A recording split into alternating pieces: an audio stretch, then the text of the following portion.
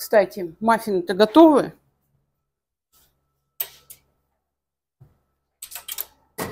Ой, горячие.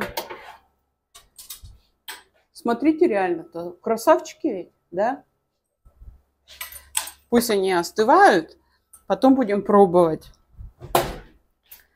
А у меня действительно остался еще кабачок. 300 грамм я тут померила, у меня его осталось. Поэтому будут еще оладушки. Добавила сюда яйцо, рисовую муку, соль, перец и укроп. Чеснок не стала добавлять, мне почему-то не очень нравится, когда э, что в драниках, что в кабачковых оладьях есть чеснок. Но это все на вкус и цвет, так ведь? Все, включаем плиту разогреваться.